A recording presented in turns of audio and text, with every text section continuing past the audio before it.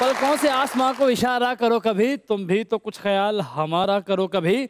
जिस आमदन में हम चला रहे हैं अपने घर, उस आमदन में तुम भी गुजारा करो कभी। इसी सूरत में आ सकती है बेहतरी, इसीलिए आ रहे हैं वासे चौधरी।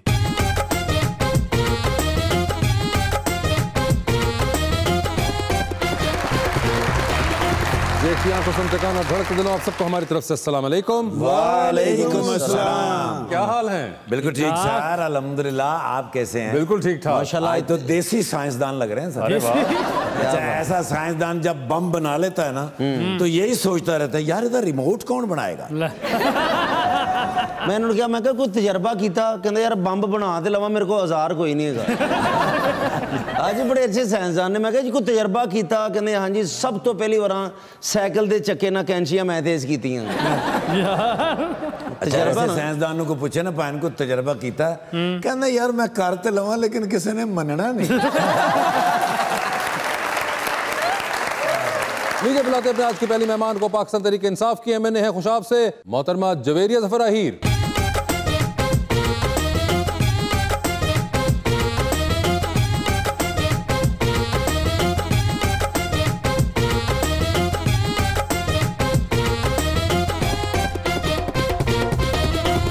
उनका साथ देने के लिए हमारे दूसरे मेहमान पाकिस्तान मुस्लिम लीग नून के रुकन है पंजाब असेंबली के अंदर जनाब Akhtar Hussain Badshah.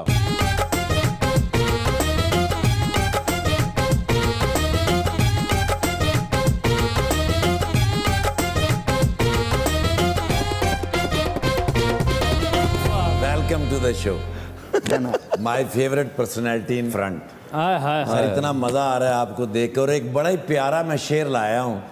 मैडम जी के लिए। अच्छा। आज हमारे मेहमानों की सीट पे जो बैठी हैं बैठी हैं। पीटीआई की एमएनए है नाम जवेरिया आहिर। हम्म। इनको देख के पहली नज़र में हम्म। दिल ने मुझसे कहा अच्छा। ठाकर तू है रांझा और ये हीरे जैसी ही। हाय हाय।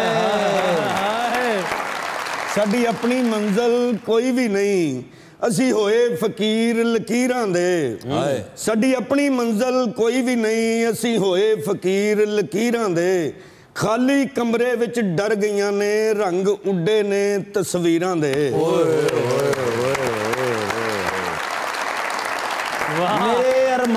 की आस दिल में ही सो गई। हो गई। देखते देखते एक अहम चीज़ खो गई। गई। आपके भी क्या नसीब हैं बादशाह भाई? लॉन्ग मार्च शुरू होने से पहले ही खत्म हो गई। सारे जोगर्स आया हो गए जेड़े पागे जी जाने जवेरिया जी। क्या हाल है आपके? अल्लाह का शुक्र जी ठीक ठाक। ठीक ठाक हैं आप? जी बिल्कुल जी आप से हैं? ज़बरदस्त बिल्कुल ठीक ठाक। और बादशाह साहब कैसे हैं आप? सर सही सर, ने आज तो आपने मैचिंग की हुई है। मास्क यहाँ से मैचिंग मिल गया कपड़े घर से पहन के आया था। वैसे आ, आ, आपकी जवेरिया जी पहले मुलाकात हुई है कभी?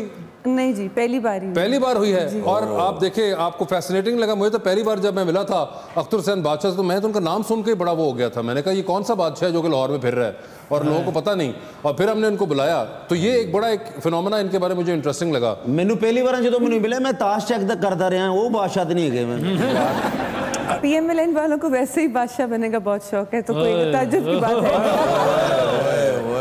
ਇਹ ਬਾਦਸ਼ਾਹ पीटीआई बन गए। वालों जैसा बादशाह हमें न बनाए ऐसे बादशाह से हम बाज आए।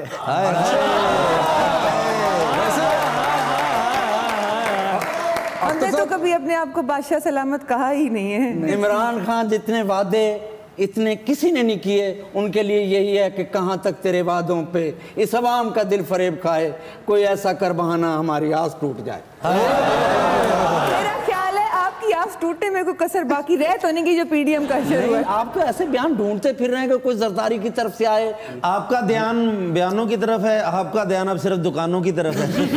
पर ये माने इमरान खान से इन ढाई सालों में आवाम तंग आ चुकी है और आगे रमज़ान आ रहा है। अल्लाह खैर करे कि लोग रोज़े अच्छी तरह रख लें। बादशाह जी ये इमरान खान साहब का रोजों का क्या ताल्लुक है? गरीब आवाम उसी वक्त रोज़ा रख सकता है उसको अच्छा मिल जाए सहरी अच्छी हो जाए अफतारी अच्छी हो जाए जो गरीब आदमी की अफतारी अच्छी नहीं इनकी इनके लॉजिक तो आज तक कभी किसी को समझ नहीं आई तो रमज़ान को इमरान खान का जो इन्होंने ताल्लुक निकाला है वो इलॉजिकल बात तो माशाल्लाह फिर पीएमएलएन की अखीर है ना ऑस्कर मिलना चाहिए। हमारी लॉजिक तो तीन दफ़ा लोगों को समझ आई तो हमें तीन दफ़ा हुकूमत मिली नवाज़ शरीफ को। और इनको ढाई साल में ऐसी लोगों को समझ आई है कि लोग कह रहे हैं कि कब जान छूटे। मगर अभी तो नहीं छूट रही ना। बस छूटने वाली है। कब छूट सर आवाम तो, तो सरदारी साहब ने कह दिया वापस लाए पहले। ये क्या कह दिया सरदारी साहब ने? पहले बात नहीं हुई थी आपकी। सर हूँ बहाने लभ के किसी के बैग से किसी तकना कि कोई सारा डूब के को तिनका का सहारा मिल जाए? ये सहारे ढूंढते ये जरदारी साहब की बात कर रहे हो नहीं मैं इमरान खान की बात जरदारी साहब की बात कर रहा हूँ। सर जरदारी साहब ने वो तिनके का सहारा ही दिता ना उससे सहारे से जी रहे ने कि पता नहीं इनकी जान नहीं साडी। उस तिनके का ना की सी इनको जरदारी बता रहा हूँ। तिनके का नाम जरदारी बता रहा हूँ। जरदारी साहब को जिस तिनके का सहारा है। वो इमरान खान। इमरान खान तिनके का सहारा जरदारी को मतलब ले रहा आप अंदाज़ा लगाएँ इनकी अच्छा। जहनी कैफियत की और कशमकश की कि कंफ्यूजन का इस कदर शिकार है कि इनको ये भी नहीं पता कि पीडीएम में जो जमाते हैं और जो जो लोग हैं उनको कब किससे कहाँ जाके कनेक्ट करना है? हाँ मगर देखिए आपके पीडीएम के लीडर तो आपसे संभाले नहीं गए। हाँ वैसे ये क्या हुआ? ना वो आप मौलाना इस्तीफे साहब दे बीच रहे में से हैं। चले गए प्रेस कॉन्फ्रेंस करके कि हाँ हाँ मैं नहीं करता। वो चले गए। इससे आवाम का क्या ताल्लुक है? इसके किसी की परेशानी से क्या क्या ताल्लुक है? इससे आप सेनेट का इलेक्शन चोरी कर रहे हैं उसका क्या ताल्लुक है? किसी चीज़ को भी लोग समझ चुके हैं। लोगों को तो हर चीज़ की समझ है। आजकल तो आप चोरी कर ही नहीं सकते। सारी शाम शाम को हैं। मंजरे हम पे आ बिल्कुल ठीक कह रहे हैं। जब से इमरान खान की हुकूमत आई है कोई चोरी कर ही नहीं सकता फ़ौरन पकड़ा जाता है। ये सारे केसेस जब अपोजिशन में पीपल्स पार्टी थी तो नवाज़ शरीफ ने उन पे किए और नवाज़ शरीफ जब अपोजिशन में थे तो पीपल्स पार्टी ने उन पे किए। हमने तो कोई केस नहीं किया। सर मैं कहता हूँ सब छोड़ें। इनके एम ये आप कह रहे हैं केस पे केस बना देते हैं और आप लोग बयान पे बयान छोड़े। मैं कहता हूँ बयान सिर्फ़ एक ही है जो कि जरदारी साहब ने दिया कि मियाँ साहब कब आ रहे बस बताएँ खत्म करें जी। जो जरदारी साहब ने बयान दिता तो छाती से खलो के राय वेंडल मुँह करके कहते बाजी रोलते गए पर चस आ गई। चस भी नहीं आई। देखो नवाज़ शरीफ की जगह शहबाज शरीफ मौजूद है। मरियम नवाज़ मौजूद है हमदर्द हमें शहबाज मौजूद है। बात सुने। अख्तर भाई देखें बात यह है कि जो जनरल लीडर है ना वो जनरल लीडर होता है। ठीक है? ये अब ठीक है हमजा साहब के अलग है मरियम बीबी के अलग है शहबाज साहब तो खैर बेचारे अंदर है वो तो बाहर ही नहीं भी आना, आना चाह रहे। लेकिन हमें नवाज़ शरीफ चाहिए। सर- हमारा लीडर बाहर है क्या बात है हमने नहीं हमने मेरी भी ख्वाहिश है। सर, मेरी अपनी- हमारे दरमियान हो हाँ। मगर एक सेहत का उनका मामला है और इंशाल्लाह जब उनकी सेहत अच्छी होगी वो हमारे दरमियान तो बस फिर सर बात ये है कि जब अख्तर साहब उनकी सेहत सही होगी तो फिर हमारा भी दिल तभी चाहेगा तब तक हमें बर्दाश्त करने पीटीआई हमारे साथ दूसरी आवाम भी उसकी बातें वासे चौधरी भी सुनते होंगे। जी। उनकी हाय गरीबों की। आटे की महँगाई चीनी की ये सब चीज़ें आपके सामने रोज टीवी पे चलता। है बात सुने ये लोग आप पे जुल्म कर रहे हैं। शहबाज साहब को उन्होंने अंदर किया हुआ है। ऊपर से इनसे प्रूफ कुछ नहीं हो रहा। मैं कहता हूँ इस्तीफे निकालें जाके आज सेफ़ में से सुबह जाके आपने परवेज अली साहब के सामने रखना है। सर ये पढ़ा मैं नहीं आ रहा। हाँ, इनके पास आइंदा इलेक्शन के लिए पता क्या बात होगी? क्या? हमने शहबाज शरीफ को इतने दिन अंदर रखा हमजा को इतने दिन अंदर रखा अब कोई साबित चीज़ नहीं निकली तो हम क्या करें? हमने तो दो तीन साल अंदर बस ये चीज़ें बादशाह भाई नून लीग जो निकलने लगे सी उन्होंने कहा इस्तीफा लेके दो इन्होंने लतीफा लेके देता जी आप कुछ कह रही मैं मैं ये कह रही हूँ कि इस्तीफे जमा कराने का तरीका कार ये होता है कि वो स्पीकर को जमा कराए जाते हैं अगर तो आपकी वाकई इंटेंशन है इस्तीफे देने की जो कि इनकी नहीं है।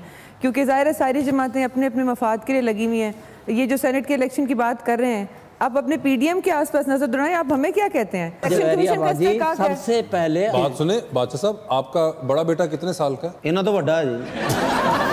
जी नहीं रुके क्योंकि कितने साल का बड़ा बेटा बादशाह चौबीस साल है। चौबीस साल का? आप उनको जवेरिया बाजी कह रहे हैं। चलो बाजी छोटी भी थी बाजी अच्छा बाजी है। छोटी बाजी है ये। हाँ, जवेरिया जी आप देखें ही doesn't look like that old अब मैंने इनका बेटा देखा नहीं इसलिए कमेंट नहीं कर नहीं सकती। तो चौबीस साल तो इमेजिन कर सकती हैं आप। हाँ चौबीस साल इमेजिन कर सकती तो वो सोचे उस हिसाब से बादशाह साहब और आपने देखा नहीं ये अच्छा एक आपको मज़े की बात बताता हूँ अबाउट अख्तर साहब। ये जब पहली बार हमारे पास आए तो इनकी हुकूमत थी। तो ये एक बड़े यू नो एक सादा नरम तबीयत के आदमी आए यहाँ बैठे वो मुझे भी समझ ना है मैं इनसे क्या बात करूँ? मुझे लगे ही ना कि इनकी हुकूमत मसने सवाल कर रहे कैलकुलेटर से साफ़ करी जा रही पता नहीं छत्तीस सौ बचे आगे अड़तालीस अजीब से उसमें थे। एंड उसके बाद जब ये आना शुरू हुए अपोजिशन के दौर में तो बादशाह की चाल ही चेंज हो चुकी हुई थी। जो एनर्जी मैंने इनके अंदर देखी है माशाला पिछले दो अपेरेंसेज में वो लगता है जैसे कि इन अपोजिशन में आते इनको इंजेक्शन लगाए एनर्जी का। इंजेक्शन एनर्जी का नहीं लगा वो इंजेक्शन उस बदहजमी का लगा है जो नून लीग को हजम ही नहीं हो रही पिछले ढाई साल से कि अब इनके इकतदार में ना रहे हैं ना उन्होंने कभी ज़िंदगी में आना है। ज़िंदगी में आना ही नहीं है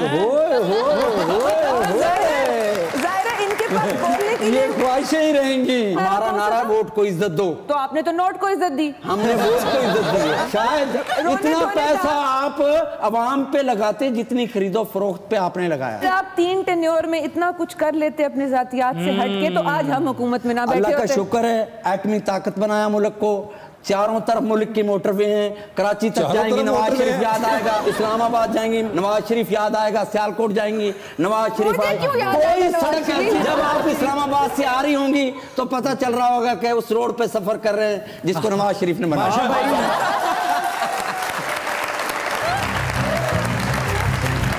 दरिया हो या पहाड़ हो टकराना चाहिए फिर भी बने ना बात तो डर जाना चाहिए। वो जिनको बजाहिर नहीं अंजाम की परवाह